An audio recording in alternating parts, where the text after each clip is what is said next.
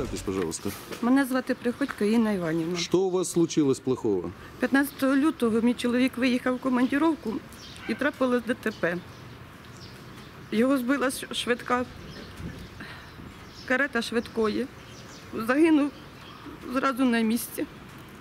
Так, э, сегодня у нас 1 апреля, 15 февраля это все произошло. Ш- э, В какой стадии сейчас дело? В милиции оно или где? Ніхто нічого не робить. Зробили слід, слід, слідственний експеримент. Ніхто після цього ні, ні- нікого не повідомляє. Я навіть не можу забрати е, з моргу ду- експертизу аналізів, яка мені зараз потрібна для виплати страховки, яку застрахував себе чоловік. Там приличная сумма страховки. 25 тисяч гривень. То есть э, без этой справки вы эти деньги не получите. А есть вероятность того, что получите?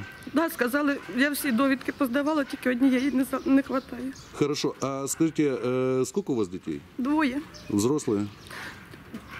12 і 7. А вы работаете? Ні. Вы не работаете. Ну, реально у вас муж был кормильцем, я Да, правильно понимаю? да. Но милиция на данный момент Ні, ніхто нічого. жалко. Спасибо, будем Е, разбираться. Роман Яресько Роман Іванович їхав 15 числа з погибшим Анатолієм. Е, Я отримав травму, черепно-мозгову травму, поломані челюсті, шиби. Можу ось показати шрам на голові, це як мене зашили. Ну, слава Богу, живий. Сейчас вы работаете? Сейчас в данный момент не работаю, потому что нахожусь на больничном.